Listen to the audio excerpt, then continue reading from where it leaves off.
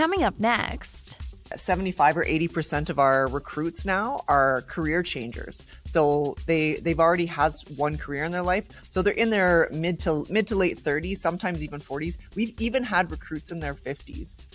Welcome to the Job Talk podcast, where we talk with people who love their jobs. Our guests open up about their challenges, surprises, and secrets to success in their industries. Through conversation, we explore their careers, past work experiences, and the education that got them to where they are now. Today's guests are Sergeant Angela Tetley and Constable Brennan Martin. Here's our job talk with two police officers. I think if you were to ask any kid what they want to be when they grow up, a popular answer would be to become a police officer. By becoming a police officer, did you guys fulfill a childhood dream? Um, thanks for having us. First of all, by the way, we're really excited to be here. Um, and honestly, no, I wasn't one of those uh, little girls that dreamed about it when I was young. I didn't really consider it until I was in my early 20s. And it's kind of strange because my dad was actually a member of CPS before me. So I grew up my whole life uh, as a policeman's kid. So, um, but I didn't really uh, become inspired to become a police officer until I was in my early 20s, actually. So kind of different, I guess. Brennan, and how about you? And for myself, uh, first off, thank you very much for having us both on. We're uh, we're both super passionate about the job and super passionate about sharing our experiences, and uh, we're very very pumped to be here. So for myself, um, I'm the same as Ange. I actually didn't have that uh, sort of mindset early on in life. My dad spent a bunch of time in the military, and he was gone a lot. Um, I knew for sure that I wasn't going to be in the military because I lived it for like 18 years, had my room tossed, and everything had to be perfect all the time. Super thankful actually for that now, looking back on it, because it's contributed to who I am today. But it it didn't happen to me until I went on a ride along when I was 19. Okay, why don't we jump right into it? Let's let's talk about the recruitment process. So the person that's sitting at home and is looking to become a police officer, can we we talk about what the start is for that person.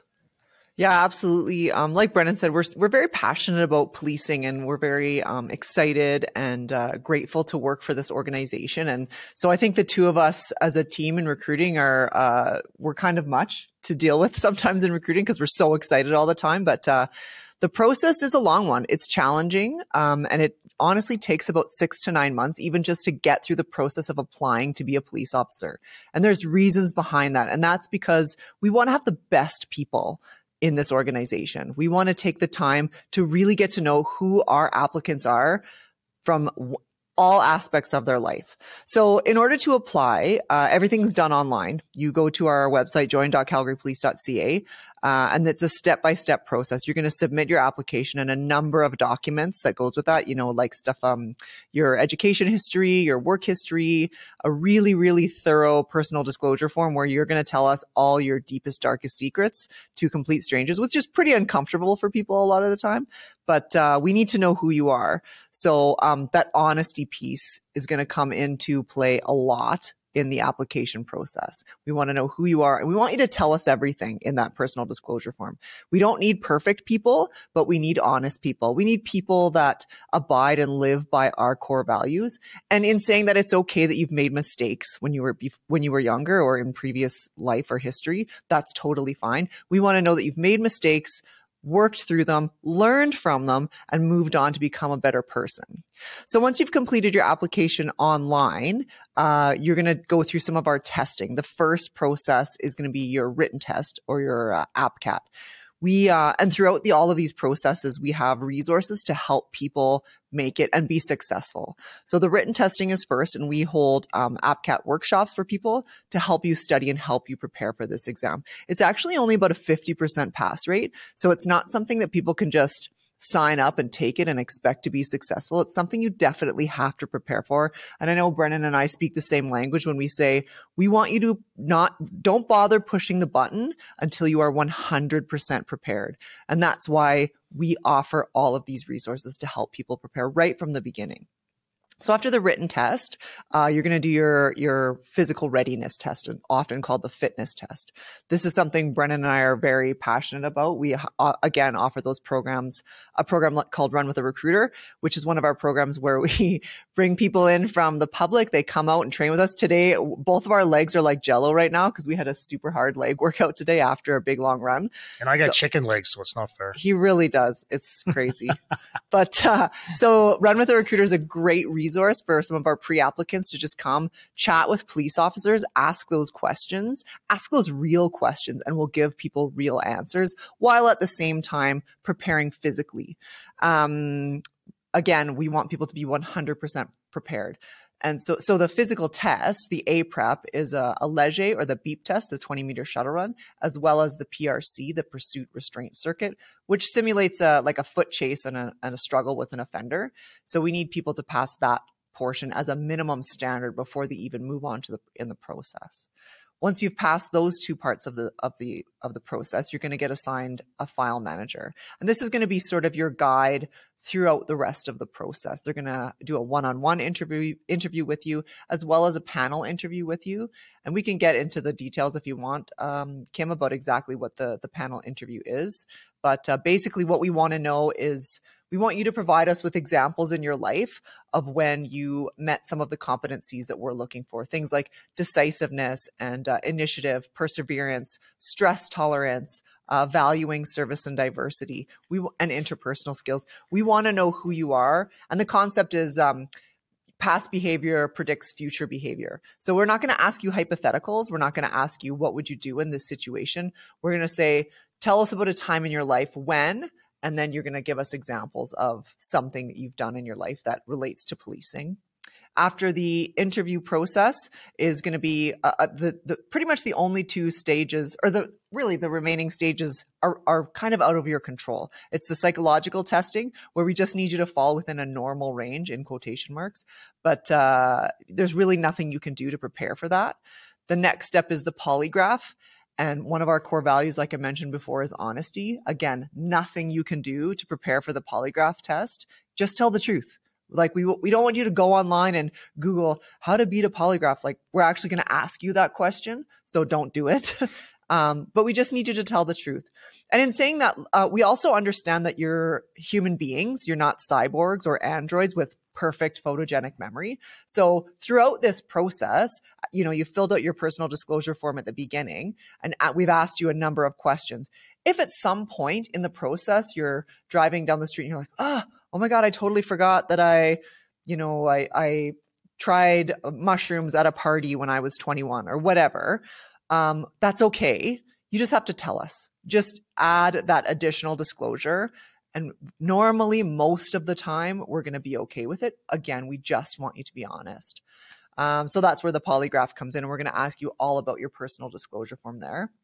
After the polygraph, it's basically over to the selection panel where they will literally go through your entire application process from beginning to end, ask additional questions, and really get. Oh, sorry, I forgot the backgrounding. There's also a, a backgrounding investigation, typically done by uh, retired police officers. So we're going to go, we're going to learn who you are at work. We're going to learn who you are at home. We're going to ask people how you treat others. We want to know uh, if you're a man, how do you treat women? If you, how do you treat members of the LGBTQ community? How do you pe- treat people who are from different cultures?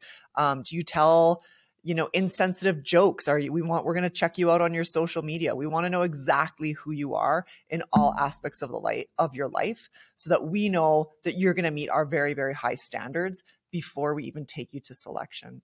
And then typically, once you get to selection, um, most of the time, once you've gotten to that point, we have a pretty good sense of who you are. So you're very likely going to be selected at that point. But it happens. Sometimes there's some questions that need to be flushed out. And then, of course, you get that. Uh, I'm pretty sure Brennan could say he remembers that moment when we all got that phone call. I was a ski bum waitress in Fernie. Uh, and uh, I remember getting the phone call saying, you know, congratulations, you've been hired by the Calgary Police Service. And it's just one of those, like, I have goosebumps right now t- thinking about it because it's just one of those moments that completely changes your life for the better. And you're kind of like, oh my gosh, I can't believe they took me. It's crazy. Right. So, anyways, that's the process in a very quick nutshell. That wasn't yeah. quick. That wasn't quick. Brennan, what were you doing when you got that phone call saying that you were accepted? Uh, I was with my soon-to-be wife, and I was at her place, and uh, I got the phone call, and I was super pumped because, like Ange and like anybody else in this process, you put all your energy and and and all of your willpower into this process, and you want the very best outcome. Um, unlike Ange, so Ange got on the first time. I do apply a couple of times, and um, I'm glad that I didn't get on when I did because I was quite young when I initially applied and had opportunities to grow and develop from there. But you're from the second that you put your application in, uh, you're you're just on pins and needles to get through to the next stage and to sit there and wait and know that you've gone to selection and be waiting for that phone call. It's nerve wracking. It's exciting. Um, it's quite a thrill, frankly. It's super pumped, super exciting. And scary. and scary. scary. Yeah, it's a little scary. No kidding. Especially when you've been turned down once already. You didn't have that. Six to nine months for this process is is that longer than the actual training once you get into into the program? Um, it's about the same. Uh, yeah. but yeah, really good point. Um, it's uh, it's six to nine months for a couple of reasons, right? Like sometimes we only have a certain number of people who are, for example, in our psychological services section. So sometimes there's a bit of a bottleneck to get people in to see the psych and do the psych testing. Same thing with polygraph. We only have one or two people that are able to um, handle the intake of the applicants. So unfortunately, we get some of those bottlenecks there, and there's there, like Brennan said, there's a lot of waiting around. Um, but yeah, recruit classes are around 25 to 27 weeks, depending on stat holidays and stuff like that. So around that, you know, six month um, timeline to, to to complete recruit classes as well. And one thing to consider too, Kim, is that uh, we have applicants from across the country. So in those particular situations, we have to accommodate them and try and figure out what schedule best fits them. Because frankly, we have all the advantages uh, if you want to be a police officer. So and and we're extremely willing to go anywhere in the country to get them. It's very very exciting. Is there a perfect age for a recruit, or does it all uh, depend on the personality of that person? I actually love this question. It gets asked all the time. Um, the minimum age is 18. You have to be 18 years of age. And in, in, saying that, it would be quite unlikely for us to hire someone that young simply due to life experience and, uh, you know, just what they're going to bring to our organization. However, in saying that, we recently hired a 19 year old simply because this was a person who um, you know, graduated high school early, got a job at a leadership position at work, like traveled around. Like he had amazing life experience. We couldn't say no because he literally exceeded all of our expectations at a very young age. Um, the other question, sort of on the flip side of that, is what's the maximum age? And that gets asked all the time because in all honesty, um, I think it's 75 or 80% of our recruits now are career changers. So they they've already had one career in their life. So they're in their mid to mid to late 30s, sometimes even 40s. We've even had recruits in their 50s. And all we really say on the recruiting side is we need you to be realistic, right? Working we're going to work shift work. Shift work is not easy. In fact, it's really hard. And as we get older, shift work gets even harder. So um, as long as you have a really good uh, physical fitness, overall wellness, good nutrition, good sleep ha- patterns, good sleep habits, and a really strong support system at home, you can do it in your older age, like in the higher age category. But we need you to be realistic because you're very like going to be on patrol for minimum you know six seven years to begin with before you can transition to a, a non shift work position if if you meet those qualifications even right? So you you said 75 to 80 percent. I thought you were going to say the maximum age was 75 to 80 years there, there is some someone fit. in there's someone in the in uh, the application process right now in his 60s and we're all like really? Like i couldn't imagine. I couldn't yeah. i was 24 when i started and uh, I, I, don't know. I think it's it takes a lot of guts. There's a lot of women recently that um, you know sort of uh, were interested in policing at a young age, and then th- things happen. They get married, they have babies, and they have put it off. So a lot of women have been waiting for their kids to be a little bit older and are applying now. We have a lot of really awesome uh, women candidates who uh, you know have to work hard and but who are a little bit older that uh, I think are going to be successful. I am going to talk to you about uh, female police officers. Uh, but we'll do that a little bit uh, down the road. Um, let's let's talk about the training and what's what's involved with that. So you make it through the process. What happens with training now, Brennan? So the training lasts approximately 27 weeks. Uh, and just spoke to uh, the difficulty uh, and the perseverance required to get through the application process. So that that is 100% going to be a foundation and a building block for the next stage. So um, every every obstacle that all these applicants and future police officers uh, go through, they they are all terrific and awesome and wonderful life lessons because you're going to simply build on that.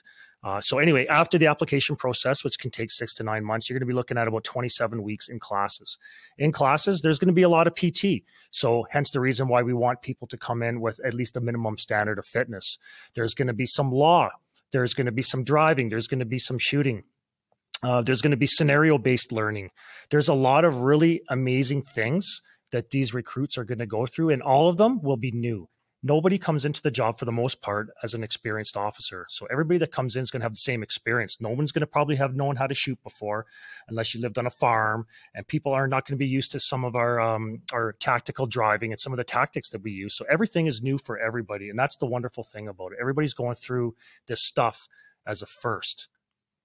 I think one thing uh, to sort of add to that, Brennan, uh, like I, I'd mentioned before, I was a literally a ski bum yeah. waitress when I started recruit training. And I was in classes actually with a number of guys who were in the military, like frontline infantry. So I actually did have experience with firearms and and combat and stuff like that. And by the time we were done training, I felt 100% confident in my skills and abilities, and we were at the exact same level. So that we're so fortunate here at CPS. We have unbelievable facilities, unbelievable training, and uh, and unbelievable instructors. And so by the time you're done recruit classes, you we've put you through so many really scary scenarios and really um, lifelike situations that you really feel confident with your ability to handle yourself on the, on the street. Uh, you know, even especially for women, like sometimes they have that question. You know, am I am I capable? Am I going to be able to handle myself if like I'm kind of a big woman? But for people who are smaller, they they maybe have that a little bit of self doubt but CPS is going to teach you the training and the tactics to be successful uh, on the on patrol for sure. Which How do you feel when you got your badge on that day? Oh my god! So, my, I, like I mentioned, my dad was a police officer, yeah. so I got my badge from my dad. So it was oh, like, wow, yeah, it was.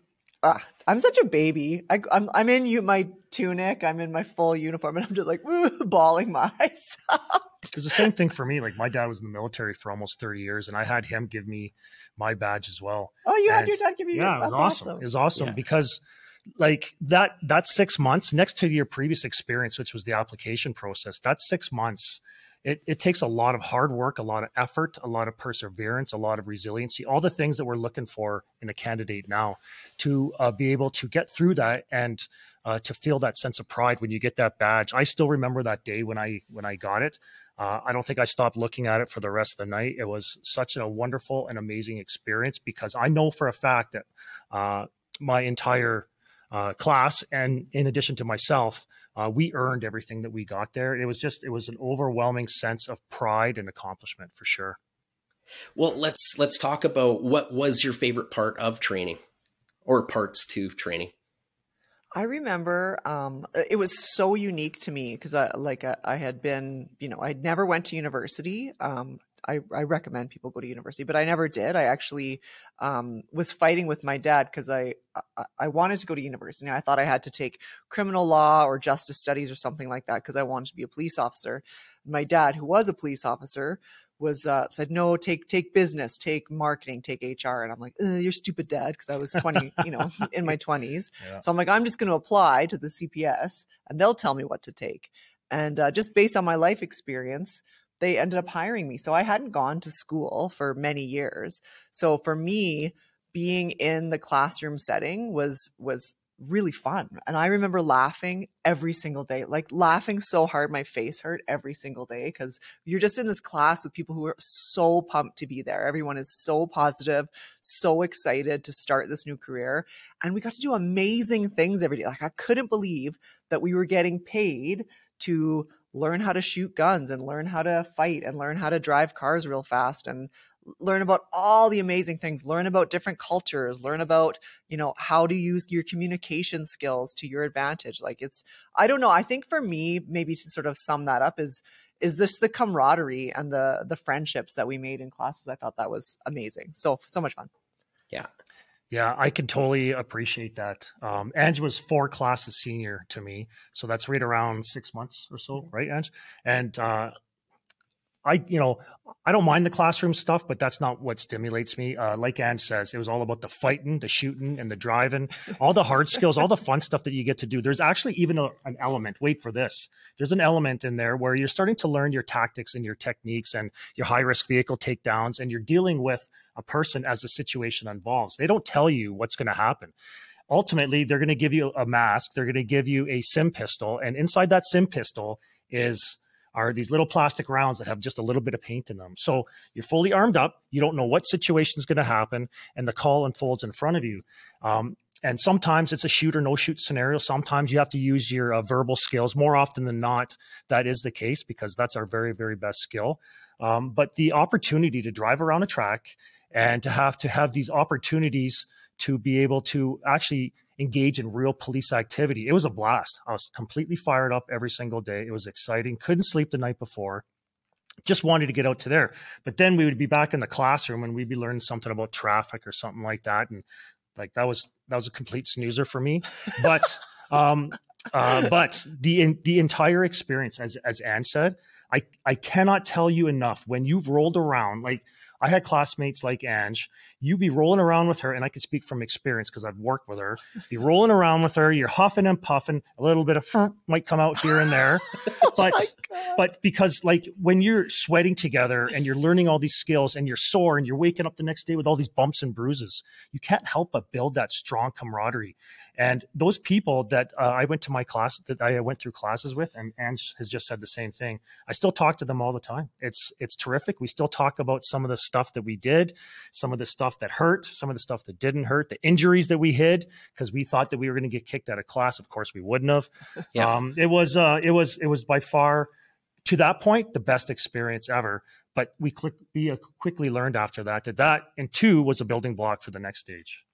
And I think uh, Brennan and I are both kind of uh, training nerds. Like we we love training, and we're so fortunate where just because you're done recruit classes doesn't mean your training stops. I think we could all benefit from more training. We all want to train more, um, but the the stuff that we get at CPS is pretty amazing. We've done some really cool uh, multi-agency, large-scale scenarios at the airport and Spruce Meadows and Calaway Park. You know, working with the fire department, working with EMS, working with communications, and uh, and that continues throughout your career. Like we just, I just did some training at Max Bell, um, just about like crowd control and stuff like that. So mm-hmm. that sort of training continues throughout your career, which is pretty. We're pretty fortunate for that that's what you liked what stands out as some of the biggest challenges or and i hate to say it this way but maybe there's something in the training that you didn't like so much uh, yeah, that's too, super easy to answer. And that's the day you get sprayed with pepper spray. It's the worst day ever.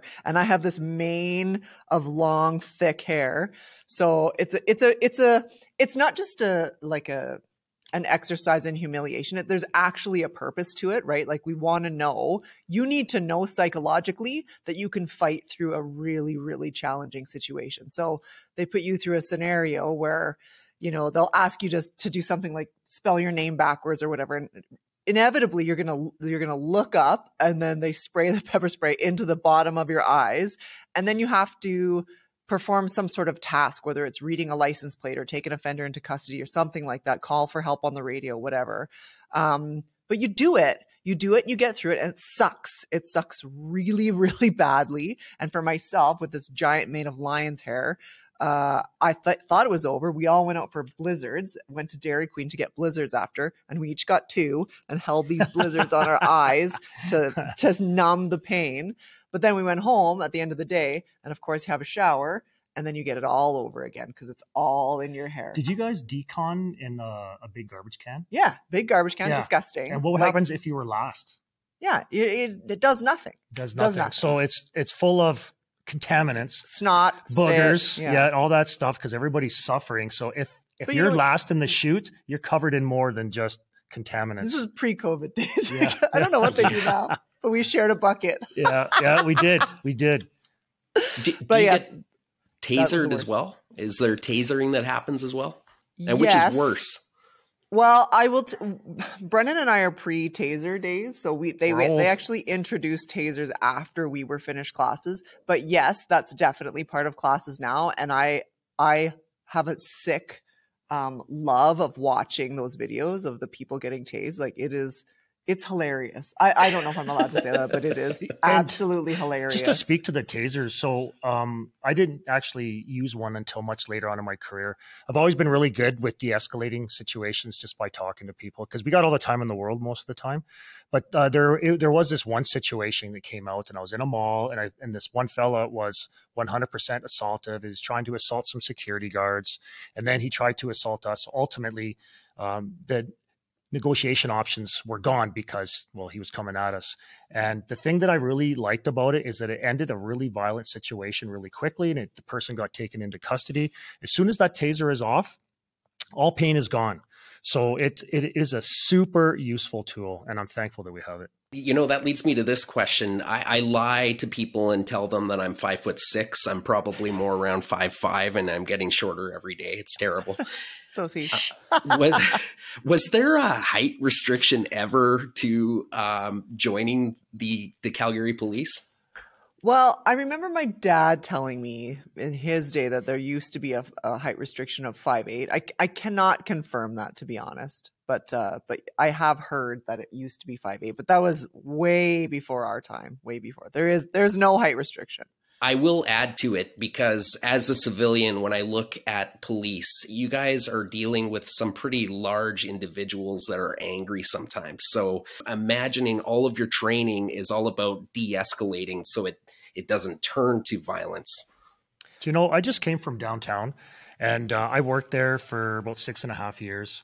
I've attended probably three or four hundred different protests and the ones over the last few years, all that kind of stuff. And I can tell you for free that that those situations are very real and they and they happen all the time. The only time that time is not on your side is if something exigent is occurring, which means it means that you have to act now. If uh, you're engaged in conversation, you got all day. I've had, I consider myself pretty fit. So is Ange. She's super fit as well. Um, but that is never our first go to. Um, the very, very best tool that any officer can develop when they get on the job is their communication skills. Um, just the fact that you're engaging a person alone will prevent them from doing anything. Often the whole mind and body doesn't react at the same time. And if you have the time and space, which is pretty much all the time, then you use those skills. You you uh, use uh, self depreciation. Like I'm a pasty old ginge. I use that one all the time. I went to the well more often than not. And at the end of it, some of these people that were very aggressive, that even had clenched fists and doing all this stuff, but they're not really going to assault you in that moment. Um, they end up becoming calm. Uh, you can often get compliance out of them, and occasionally a, a few laughs, and then they're on their way. I think, um, you know, in regards to the question about height, I think a lot of women in particular, that, that comes into mind a lot because women are, are typically shorter than the men. Um, but the good thing about uh, classes and even just the, the, the, the readiness test is you can be successful. You just have to use different tactics or different techniques, right? Like if you're a, a short woman who weighs 110 pounds, you're not going to be able to muscle the push pull mach- machine or the handcuff simulator. You're going to need to use your lower body. You're going to yeah. need to use physics. Yeah, exactly. So there's there's ways that you can prepare and there's tactics and techniques that we're going to teach you um, in in recruit classes. Like I I remember a lot of we had a couple of really small women in my class, uh, and one really really short man. And uh, we're going to give you techniques and tactics to do that for sure. We always use that NRP, necessary, reasonable, proportionate, for every situation. Uh, but sometimes the first and only uh, tactic that's going to work is going to be, you know, going hands on or or even lethal force, right? So we're going to give you that those skills to make those decisions and the tactics to be able to be successful, even if you are small and don't weigh, weigh very much, for sure. This this job, Kim, it's like a sport. Anybody that begins a sport for the first time, whether it's hockey, Ange is all about the rugby.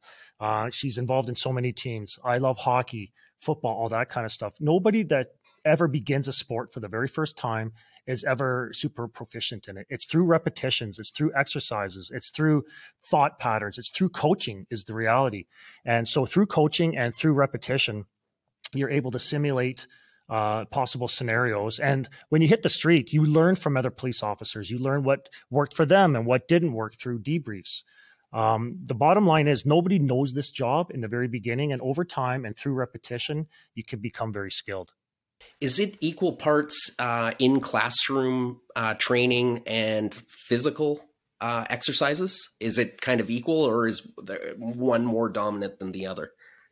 I think everyone wishes we had more uh, PT training in yeah. recruit classes. Um, yeah. I, I, would say it's pretty close to being 50 50. The, the term that's often used in recruit classes is the drinking from a fire hose. Because, like Brennan sort of alluded to at the beginning, there's so much information that we have to literally vomit all over these recruits to start. You know, like there's so much to learn physically, uh, as well as you know academically. There's a lot of classroom work. There's group projects there's community projects there's learning about diverse cultures there's learning how to treat you know people who are in marginalized uh, groups. We we want it we want everyone to be successful in that. And then on top of that once your brain is numb from writing exams learning about traffic learning about impaired driving learning about writing reports learning about the criminal code oh now you're going to go to pt and they're going to work you super hard. Oh, and then you're going to learn how to drive a car in an emergency manner. Then you're going to learn drill, drill and dress and deportment and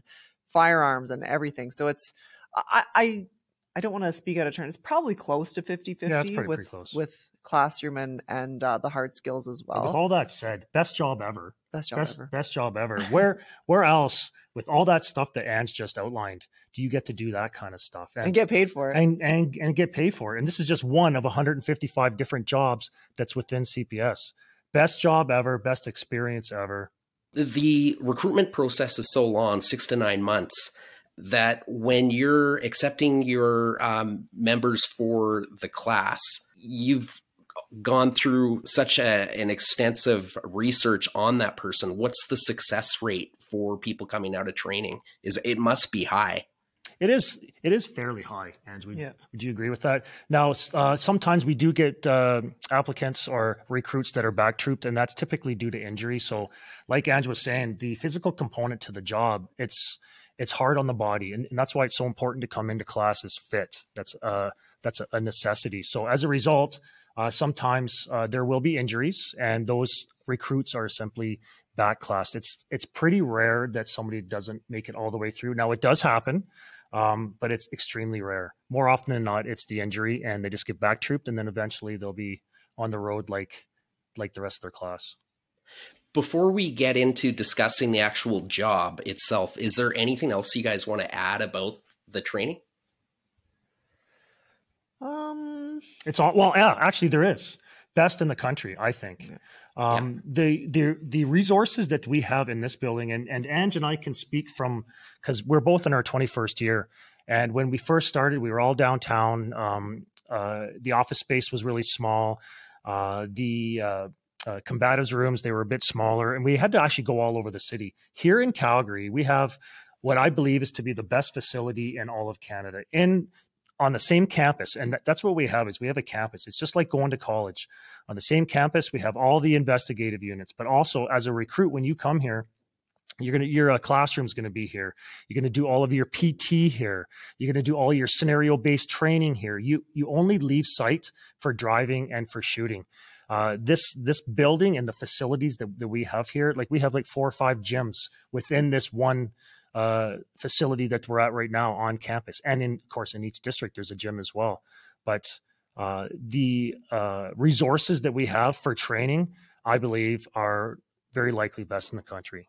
I think just the one last thing there, Kim, is um, a lot of other agencies you have to live on site when you're going to, to recruit classes, but in, at the CPS you go home at night. You go home every night to your family. You can have dinner with your kids you can tuck your kids into bed. So you come to classes during the day and then you go home to your family at night. And the whole time, like we mentioned before, we're gonna you're gonna start getting paid right away by the Calgary Police Service on day one of recruit training. There's other places in the country where you either have to pay to get your uh, education as a police officer or it's unpaid training. So you're you're a member, you're a, a hired employee by the CPS as soon as you get your uh, offer of employment and selected you're measuring a lot of physical activity. Do you acknowledge that? Yeah, I think um, I don't. I couldn't speak to exactly the numbers or the statistics or anything, but we have awards. So when you are uh, graduating recruit classes, there, there'll be awards for traffic law, for criminal law, for physical training, for skills and procedures, for firearms, for all of those things. So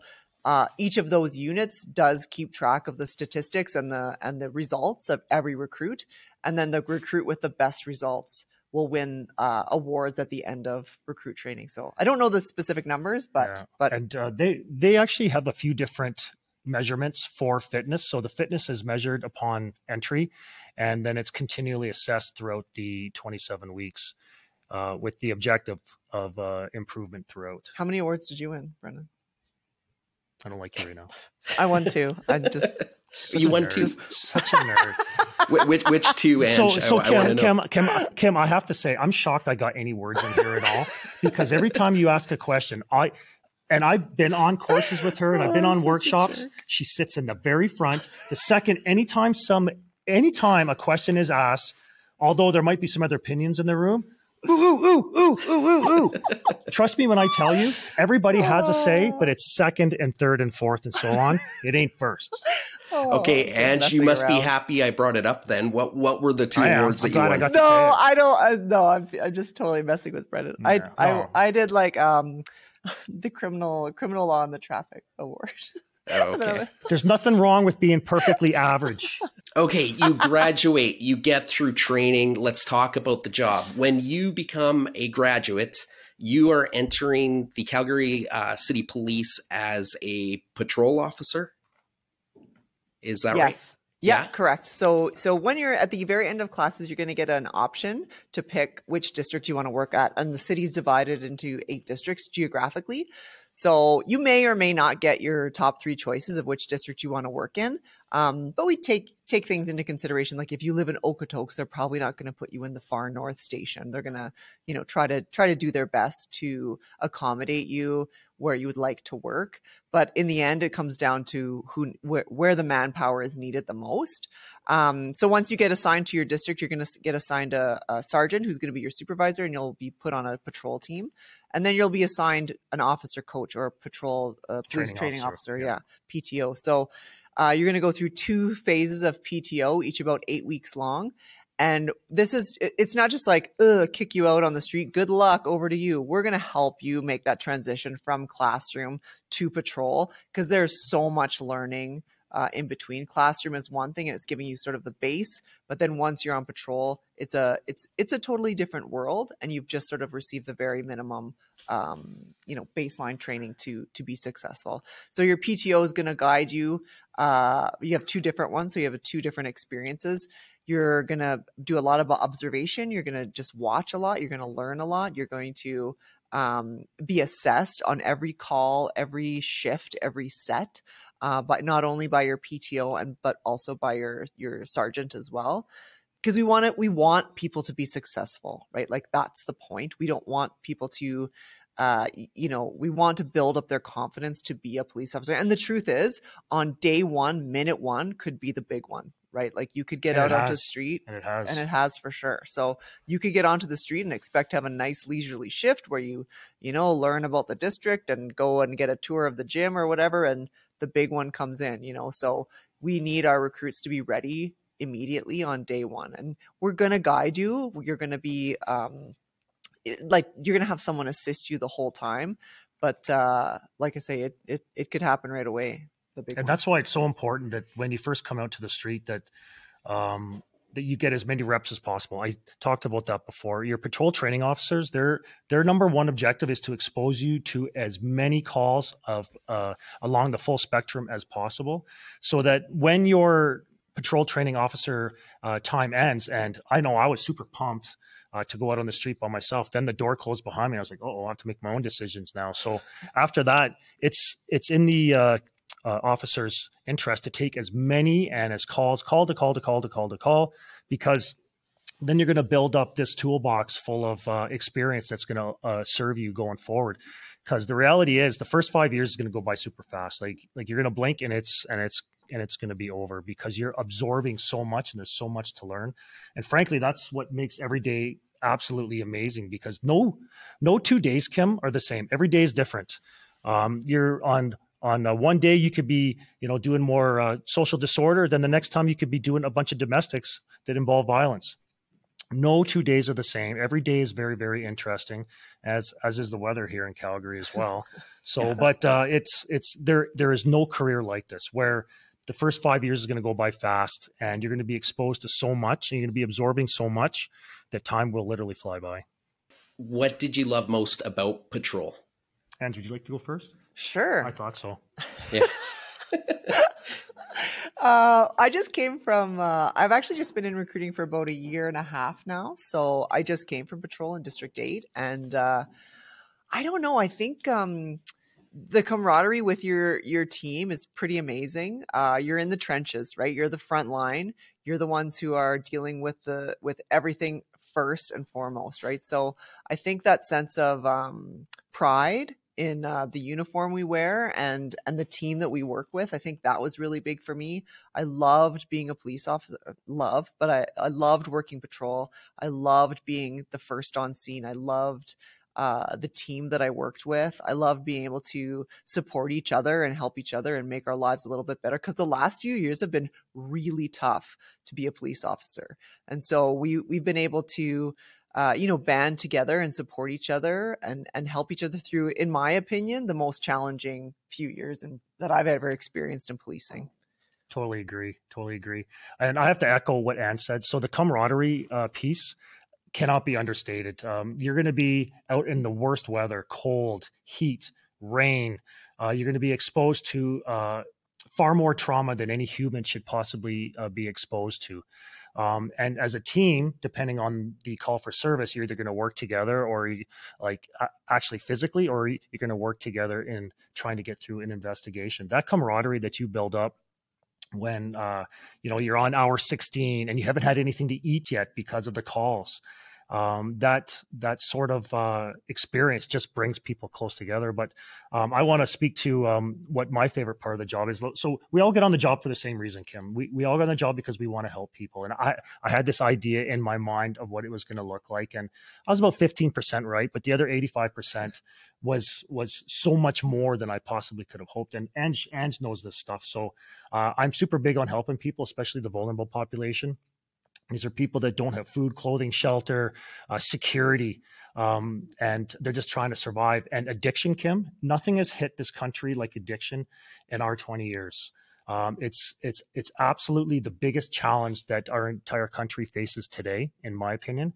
So as a result, um, and I worked downtown for the last six and a half years before I came here. Like I said, I got to meet them all, especially the street level uh, prostitutes and um, all the entire vulnerable on the male and on the female side, and to experience their addiction.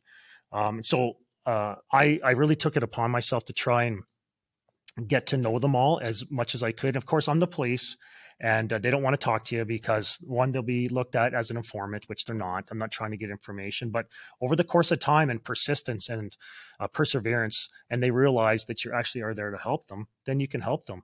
Um, me in particular, um, I, I like trying to help uh, some of the ladies get off the street because, as as you can imagine, they live horrible lives. So they don't have clothes, or sorry, they uh, don't have shelter.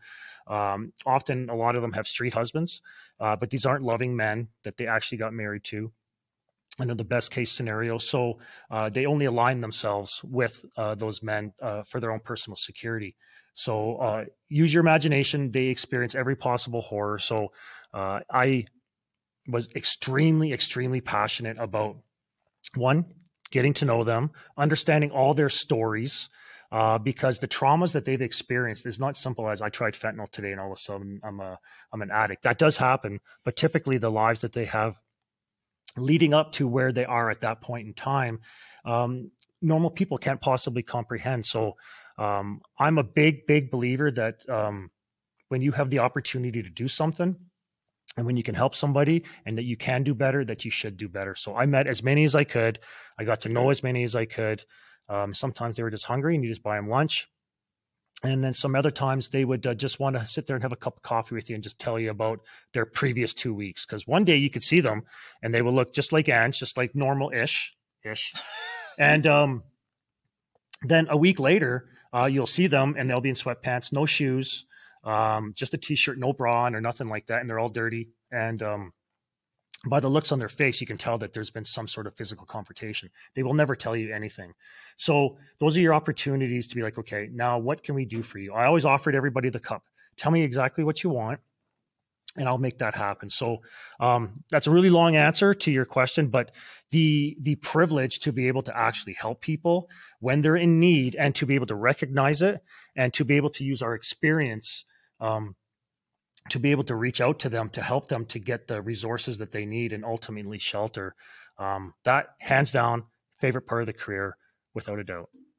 And uh, like Brennan's a pretty special person, but honestly, that stories like that happen all the time where the fellas and the girls on patrol will these little these little things yep. that happen that uh, never get in the newspaper, never get reported, uh, never get kudos for mm-hmm. anything, but uh, it happens more often than not where the someone will you know buy someone lunch or you know maybe give them a if they were shoplifting because their their baby needed diapers you know like they'll maybe just take them grocery shopping. I've and, seen it because nobody's there to witness it when it's two o'clock in the morning and somebody needs help. And the people that she's talking about, they'll go to the 24 hour whatever to help these people. Yeah. And uh, I've seen it time and time again. I agree with you, Ange. Yeah, it happens all the time. I'm going to say it's it, this is going to sound really selfish after talk. Brennan mentioned this story, but uh, one of the other things I think for myself, anyways, about uh, patrol that I love the most is truly the work life balance. Like we work shift work and it's brutal. Uh, like I, I, I hated working, you know, 1900s. I'm not good at it. I'm, uh, and as I got older, it was harder. I didn't enjoy working night shifts.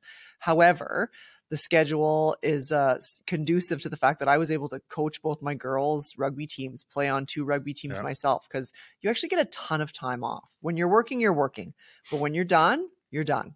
You don't answer the phone on days off. Uh, you're done. Someone has come in to take your place and uh, you you have that really valuable life work life balance. Like I would get 50 ski days in a year, and you know go on my hunting. I didn't know why you have a house. I know. Why don't you sleep in your van? I know.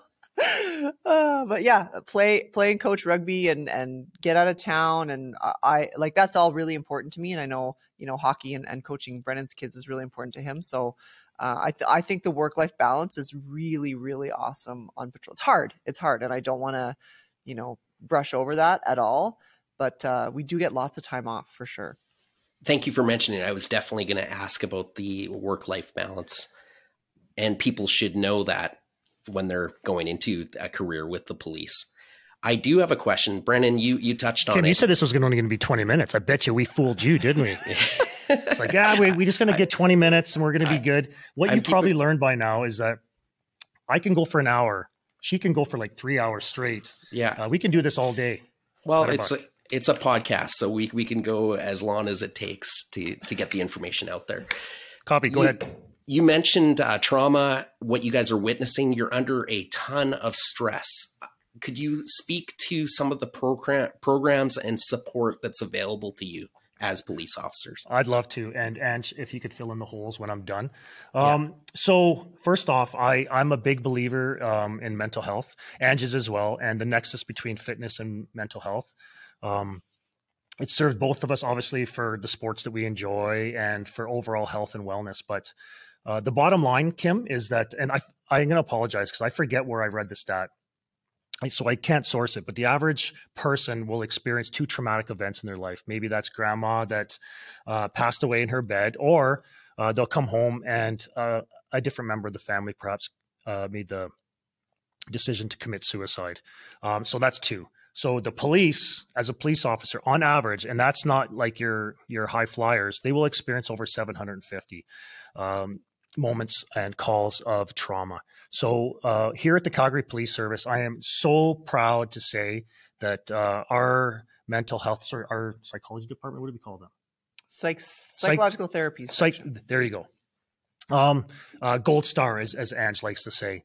Um, it's it's it's outstanding. First and foremost, um, if you uh, require anything for your families, uh, that is going to be there for you. But for yourself, as the officer that's uh, received and absorbed trauma. And you heard me uh, speak earlier about getting to know all the vulnerable in the community and learning all their stories.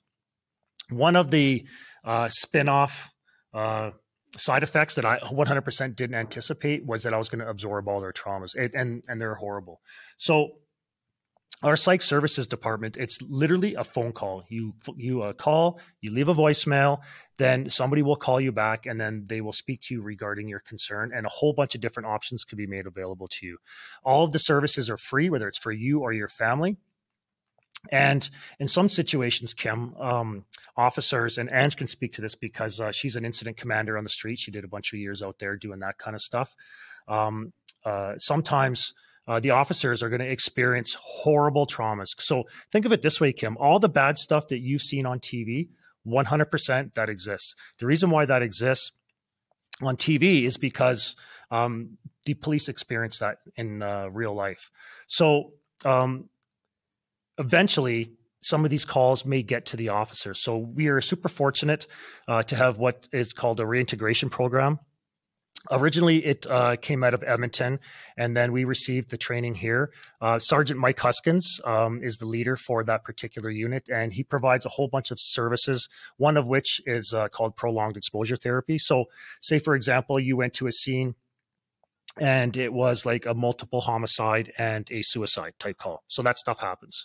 So as you can imagine, normal human beings are not meant to absorb this type of stuff. So you're going to come in and you're going to see what you're going to see. It's horrible, but what what you don't anticipate because police officers know we're going to go to bad calls. You don't anticipate seeing people's reactions to this stuff. You don't anticipate the smell. So the smell is is the is the is the is the um the memory piece. So when you go to these types of calls all these different uh, pieces of indicia uh, you're going to absorb. So if for example there's a problem and you're uh, you're actually having a hard time dealing with it you can actually use our psych services and uh, liaise with our reintegration team and they they can do what's called prolonged exposure therapy where they can slowly uh, expose you to um, uh, that that story. And the idea behind that is and it being prolonged exposure is you start out, out um, at the very very beginning of the stories that over time um, that uh, through exposure and with it being prolonged, that uh, your reaction to it will not be the same as it was when you first started experiencing the traumatic reaction. Did I miss anything, Ange? No, I just I think the other thing um, we've brought in a number of programs like Road to Mental Readiness and, and a whole bunch of uh, resources and services, peer support, uh, a chaplaincy program. Uh, we have a number of, you know, even just medical doctors on site here at our, our headquarters. Mm-hmm. And I think the big thing is the stigma that has uh, often gone be- gone along with mental health or needing to take kind of take a knee when things have gotten too bad. I, I think that that we've really crossed a barrier with that where. Um, you know, there's no longer that like I'm a big tough cop, uh, nothing bothers me. You know that it it really doesn't happen anymore, and we all. Uh, I think we're getting better and better. There's we definitely have room to improve always, of course, but I think we've gotten a lot better at recognizing when someone needs to take a knee and supporting them when they do not only supporting the officer but also supporting their family whether it's mental health or or otherwise we band around each other to support each other and and the organization does as well. So i think that's the reintegration program is a massive success for us and it's all thanks to thanks to mike huskins for sure. He's just amazing.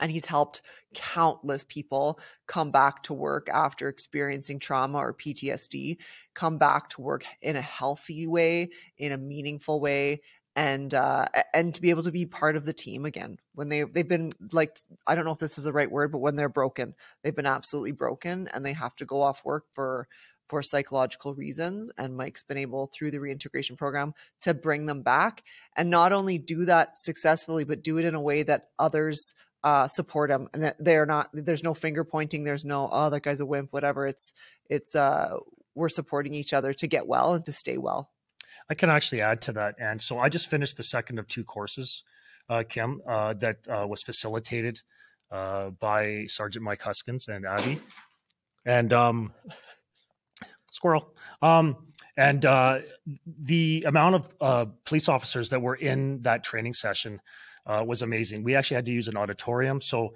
100%, Ange is right. The culture surrounding mental health has completely changed. Um, there are plenty of police officers out there that uh, want to help other police officers because um, trauma is actually an injury. So it's not something that it's a feeling or anything like that. Um, it's an injury uh, that the officer sustained, whether it's over accumulation. So you've attended a whole bunch of stuff like that 750 stuff I was telling you about, Kim. Or perhaps it's one particular incident uh, that the officer is having a hard time with. The culture has changed. It's wonderful. Um, I'm super passionate about sharing that message uh, because at the end of the day, uh, we that camaraderie exists and we want to help each other. We want to help the community, but we also want to help each other.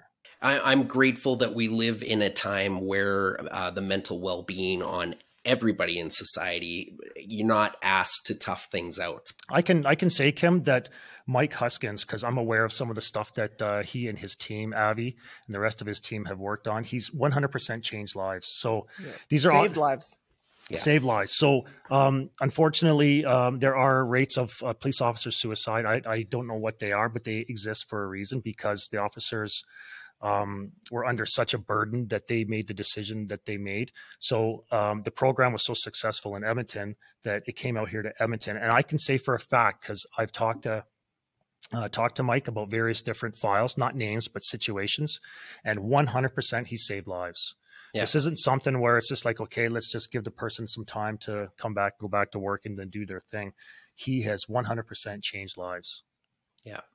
I can't think of another career that offers the diversity in what you guys do. Um, I'm hoping we can talk a little bit about some of the other roles that you've uh, had during your time with the Calgary There's City so Police. There's so many. Yeah, we'll try not to go on uh, about an hour talking about that, but I'm just curious to know the diversity well, Kim, in some of the Kim, don't don't look at me. You need to talk to her. That's just a warning. Uh, we'll try to keep it uh, short a little bit. Um, but also, along with the different roles and the di- diversity and what you can do if you become a police officer, there's a lot of continuing education available to you. You're you're um, constantly um, learning. Yeah, we do a lot of training. Uh, and like I say, I think we could always do more. We offer a lot of in house training at our Chief Crowfoot Learning Center, whether it's just, you know, through recruit classes, but then throughout your career, uh, additional investigative training, uh, undercover techniques, surveillance techniques, all sorts of, uh, you know, there's so much that we, that we offer the, our members. Um, we there is an opportunity to take additional external education as well. Like it's pretty challenging to do that when you're working patrol. Uh, you have to uh, have some pretty significant time management skills to be able to do some uh, additional university or post-secondary education when while you're working patrol. It's it's quite challenging but there is a little bit of support with uh, with the organization as well for for people that want to you know continue to educate themselves for sure can we talk about what other roles you guys have have performed while being a member of the Calgary City Police? Yeah, sure. Um, uh, like Brennan and I both been on, you know, around that 20 year vintage. So um, I can honestly say, so patrol is obviously everyone does it. Uh, I worked in District 1 and District 2 and District 8 uh, in on patrol. Um, I got married and had both my babies while I was on a CPS member. So um, uh, when I, I moved into the uh, major events and emergency management team, uh, where I was uh, in charge of organizing large scale events, whether they were planned or unplanned, you know, things like Stampede or, or, you know, Lilac Fest, stuff like that. But then, you know, if there was a anti-police rally or some sort of protest, we would also be in charge of the, or of organizing the operational plans for that. Uh, I actually got to work in the CCLC or the Chief Crowfoot Learning Center where I taught recruit classes uh, for a short time. Now that was a wicked experience. I absolutely loved working there. Um, I even worked in HR a little bit, where um, when an officer wants to transfer into a, a, specialty unit, we hold competitions. So you don't just sort of walk walk onto the job. You have to apply and compete against your peers for positions. So I was I was facilitating those uh, those internal competitions. Uh, then I got promoted and I went back to eight district where I ran a team on patrol down uh, down in eight district and and came to recruiting after that. Brennan, well, for myself, so um, Ange and I had completely different careers, and that's what actually makes the CPS and policing so awesome. There are so many different things, like I said before there's over 155 different roles. So I, like Ange, I started out on the road. I was there for about six and a half years. After that, or actually during that, I took the undercover course and the surveillance course with the mindset that I was going to do some undercover drug work. But during that process, um, I was exposed to um, drug production investigations, so I got super pumped about that. So um, we investigated grow ops, meth labs, fentanyl tableting labs, ecstasy, GHB labs, all all that kind of stuff. We got to learn the chemistry behind all that. I even got to go on some expert courses and uh, I actually learned how to make some of that stuff. It's pretty cool. Actually, I learned how to make all of it. Total Breaking Bad. Um, I'd kill myself first, like for sure. Like I'm not that competent, but it was it was uh, it was a lot of fun to actually learn the chemical uh, steps required to make some of this stuff. Um, after that, uh, I went to the gang team for about a cup of coffee, just about a year. And then after that, I went downtown for another six and a half, seven years. I was on the beat, so I was out there walking around uh, being uh, uh, in the back alleys at two in the morning on a winter night or whichever. That was our job was to get out there and be seen and and find um, crime in in progress on foot, and also to be able to connect with the community. That was really awesome. And then after that, um, I reached out to Ange about coming up to recruiting and. Uh, there was nobody else available, so she had to take me. yeah. and uh, I've been up here now um, a year in February, so about 15, 16 months now. And um, I've enjoyed my entire career, Kim. It's it's been outrageous.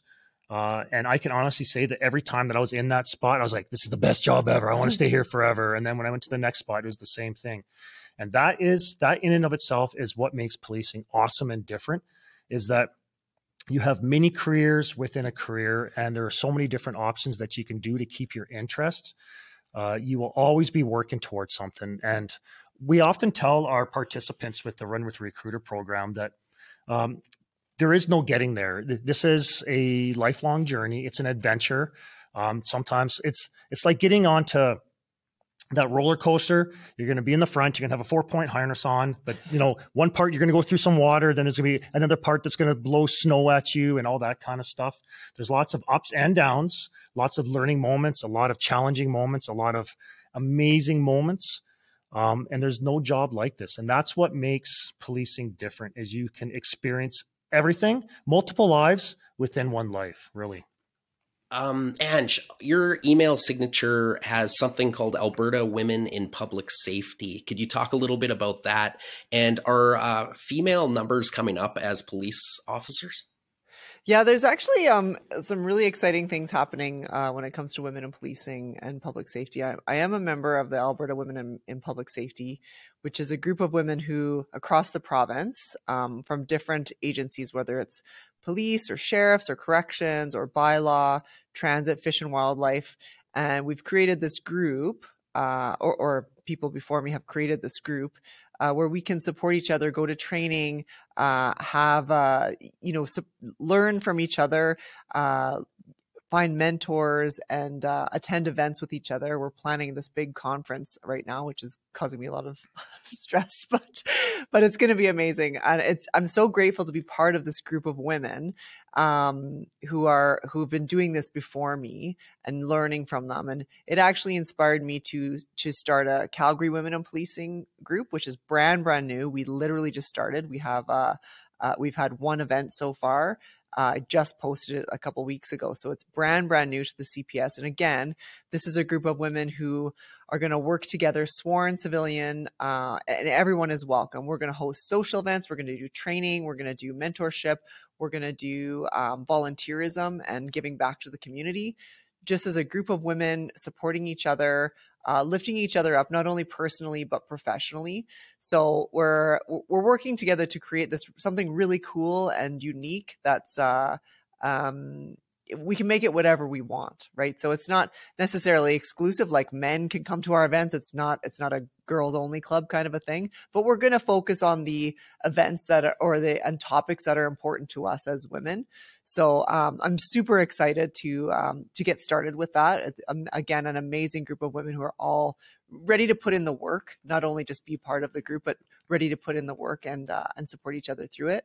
Um, and I will say, just a shameless plug, we have a uh, women's recruiting boot camp coming up at the end of May. Uh, the applications are now closed, but uh, if anyone's listening, we will be doing another one uh, in the fall. And this is going to be an opportunity for women uh, pre application to really experience the physical aspects of policing uh, as a woman in, in CPS. So uh, sometimes women struggle with the physical readiness, uh, whether it's the testing or even through recruit classes.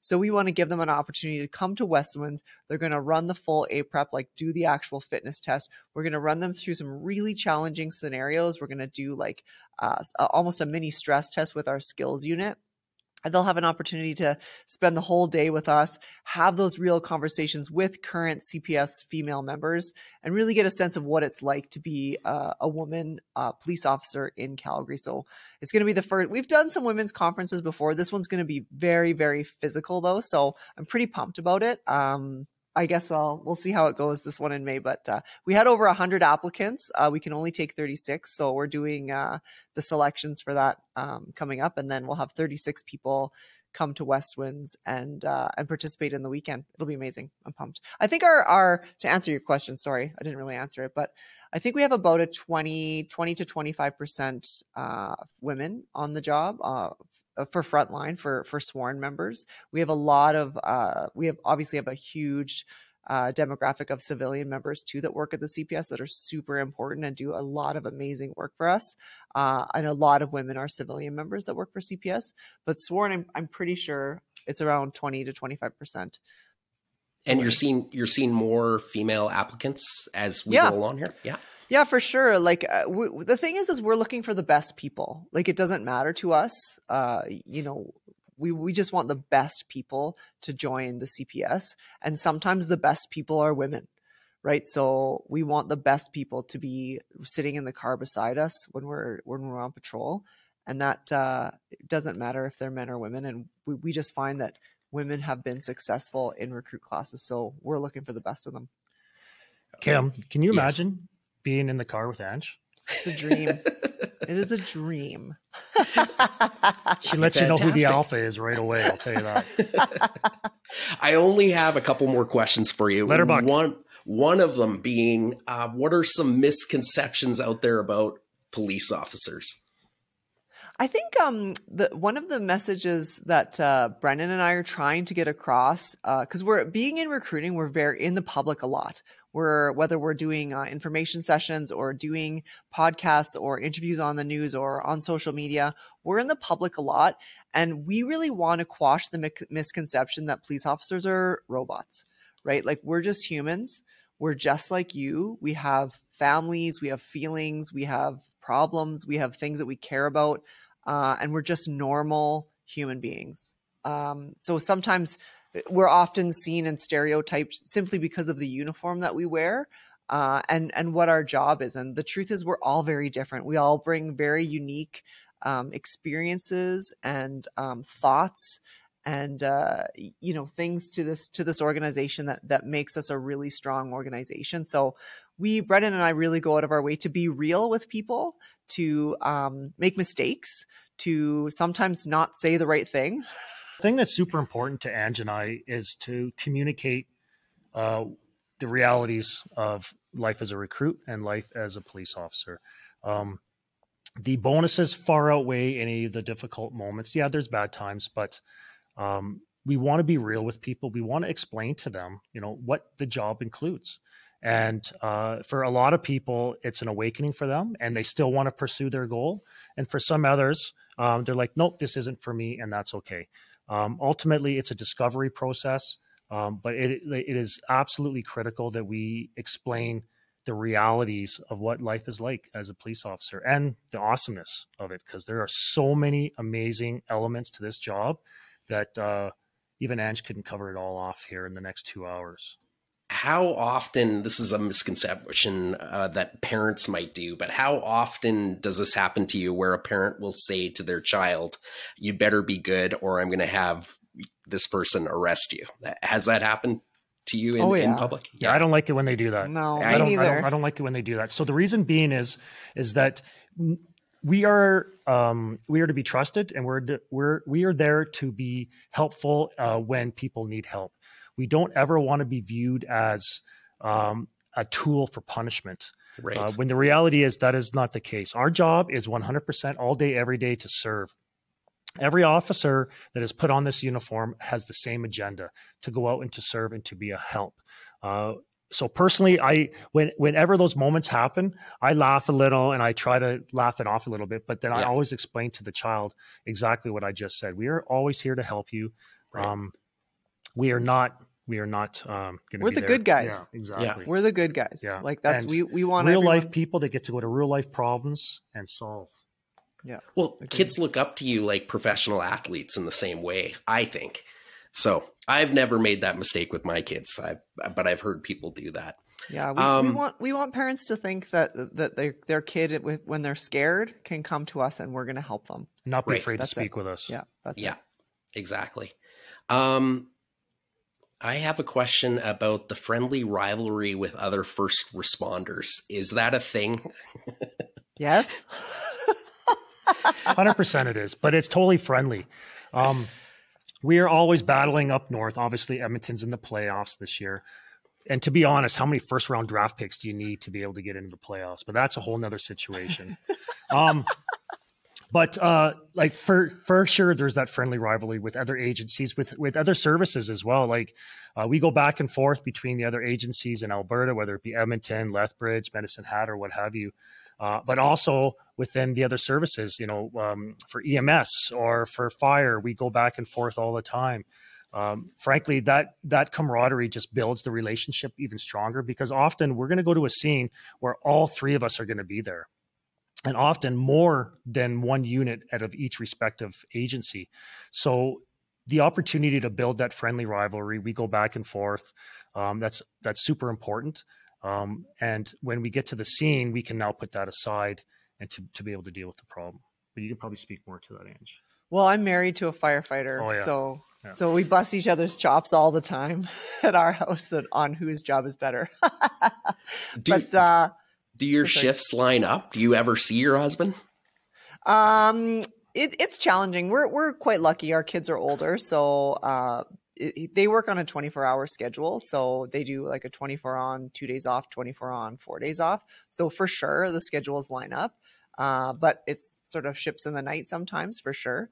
Um, but just like Brennan said, like we bust each other's chops definitely about uh, about our jobs and who's who the real heroes are and stuff like that. But the the truth is, we're all on the same team, and even even policing agencies, right? Like uh, we, Calgary and Edmonton, obviously Battle of Alberta in all senses, but I'll tell you right now, uh, the recruiting team in Calgary and the recruiting team in Edmonton, we we connect with each other all the time. We help yep. each other all the time. We steal each other's ideas and share ideas, and we give each other exactly what we need because we are all on the same team. 100%. We may have a different flash on our shoulders, but we're all brothers and sisters, definitely. It's a it's a sibling rivalry, is what exactly exactly. Um, okay, I'm based in Edmonton, but I will ask you guys this question anyways. What is the Calgary advantage? What makes Let's go. Police? I've been waiting for you to ask that question. oh my god, Brennan's been vibrating wanting to ask that What what makes Calgary different from other police services and agencies? So we're we're gonna probably go back and forth here, just like a tennis match. So Ange, as I miss some, you can I'll look to you and, and you can pop in. So um, one thing we can say without certainty um, or with with certainty, Kim, is that the job's the same no matter where you go. So whether you're in Edmonton or here or Ontario, BC, the job's the same. The same obstacles remain. The same awesome opportunities are there. The job is not different. What matters is the where. So here in Calgary, um, to say first, um, the thing that, that that we didn't realize that we were enjoying as much was the fact that the cost of living, cost of housing, is radically different than some of the larger urban centers like in the lower mainland and in Ontario. So um, we've heard from some of our brothers and sisters in Ontario that their commute times are are are quite long. Like they can be up to a couple hours one way each day because they can't afford to live near their uh, agency that they're that they're currently working at. So with the Calgary Advantage, uh, we we offer affordable housing, we offer affordable lifestyle, we offer a far better commute time. Our facilities are outstanding. Like our gyms here, and all the resources and all the courses and all the things that are available to you are outstanding. Um, each officer that uh, comes here now for some agencies uh, that are larger they're going to offer the same thing but we have over 155 different vocations within this job in addition to a frontline police officer to experiment with throughout your career. There's so many more things. Yeah i think uh, the big thing for for me and my family is the proximity to the mountains right? Oh, like right. we uh we spend a lot of time uh, you, you, almost take it for granted that we we get to see the beautiful rocky mountains every day from all sides of the city. They're just constantly on the on the horizon for us and they're just an hour and a bit away. So we can get to the mountains very very quickly very easily like i mentioned i i think i got four 30 30 ski days in this year uh, when i was on patrol i was getting 45 50 ski days in so being in the mountains is huge for us we have amazing uh, wildlife populations, uh, world class fishing. Uh, the Bow River runs right through the city, and people travel from all over the world to fish in the Bow River or to ski in our beautiful mountains. We uh, the the outdoor lifestyle that we offer here in the city. We have hundreds and hundreds of kilometers of bike trails right inside the city. We have a ski hill in the city. We have a world class Olympic facility uh, at WinSport that is available to the public at all times. We have multiple uh, recreational um, facilities throughout the city too. Of course, the the latest is the the building of our new arena. Obviously, long overdue, but that's going to be a pretty amazing uh, structure and and center right in our downtown. And I mean, uh, like Kim, I'm going to say it. We're the home of the Calgary Stampede, right? It's the best party in the country, right? I've lived here almost my whole life. And I'm one of those nerds that just, I love Stampede. It's one of the best times. Like, it's so wild. People come here from all over the world. And, uh, you know, you take them out to a Stampede breakfast where they're going to get pancakes and sausages and bacon and, uh, and whatever in the morning and they're looking for the the the till they're looking where they have to pay for this breakfast and when they find out that you don't pay for Stampede breakfast, that's just how we roll here in Calgary. That blows their mind. The the, the Calgarian hospitality that we have here, that we welcome uh, people from all over to the Stampede, and people like the the richest, uh, you know, CEOs of the biggest companies downtown. They they ditch their suits and they grab their shoddy belt buckles and their terrible hats and they're cowboys for 10 days right so i think that's one of the it's a major draw in the city uh, you know the rodeos the chuck wagons the parades it's an unbelievable event that really brings the city together uh, it, it's weird it's a weird experience but uh, i love it i'm a It's total killer. stampede nerd It's it's crazy. Um, on top of all that, Ange, we have quick and easy access to BC, so the whole BC life. Um, so I'm a Montana boy myself. I love Montana. If uh, if uh, you've seen that show Yellowstone with Kevin Costner, oh yeah hundred percent like for real. That's exactly what it's like. But in real, in the first person, it's way better. They have a lake that's almost 90 miles long. 70 miles of it is on the American side. It it it, it is emerald green water. It's Caribbean. Uh, 25 years ago, it wasn't very well known. Now there's a lot more Canadians down there. Um, it it the second that, that you go through Fernie and then you're going to be heading down towards the border, it literally goes up 10 degrees. And uh, it's it, it is so much fun and there's sand dunes everywhere. It's absolutely amazing. The other thing that i really like um, is the bedroom communities kim. So in calgary if you want to stay in calgary that's perfect. There's the rich diversity that we have. We have a festival for everything. And often there's there's there's overlap on the weekends because we have so amazing so many amazing festivals. Name your name your country of origin. There's a festival for it. It's amazing. But me and myself i grew up small town so i uh, prefer to leave work in calgary. And after five years i actually moved to one of the bedroom communities. So i live just south of the city. Um, and uh, my commute time every single day up to the northeast here is 38 minutes. It's it's very quick. The great thing is is that all of the bedroom communities they're all on opposite sides of the city. So i'm on the south side. On, on the north side there's airdrie. On the east side there's chestermere. On the west side there is cochrane. I actually was looking at cochrane because much like ange i love the mountain life. If you like paddleboarding skiing uh, fishing camping hiking whatever your thing is it's all available to you like right now. Um, because I go to Montana quite a bit, I decided to go uh, with the southern option. But even from my place right now, I can be in the mountains in less than an hour. The the options that are available to you by being a police officer in Calgary are limitless. I was born in Edmonton, and I will confess to you that I was driving through Calgary last summer, and I actually said to my wife, "You know what? This is a beautiful city." Um, we're pretty lucky. Yeah. yeah. we are. We're all fortunate. Actually, we're very fortunate to be in Alberta. Period. Yeah. We're very fortunate to be in Canada, and to live the lives that we have, and to have the opportunities that we have for our families and for ourselves. Agreed. Well, I don't say this to all public servants, but I definitely say this to police and first responders. Thank you so much for your service. And thank you so much for coming on the podcast today to talk about your career. I really appreciate it. It is a privilege. Thank you, Kim. Yeah, we had a blast. Thank you for having us. And uh, if anyone ever wants to get a hold of us, uh, please go to our website, join.calgarypolice.ca. You can email us, and one of us will respond to you for sure. So if you have any questions, please feel free to contact us anytime. And fill out an application, join.calgarypolice.ca. We are hiring. Let's go. To learn more, please visit join.calgarypolice.ca. Thank you for tuning in to the Job Talk podcast. For more information, please visit us at thejobtalk.com. Our podcast music was created by our friend Mike Malone in Edmonton, Alberta, Canada.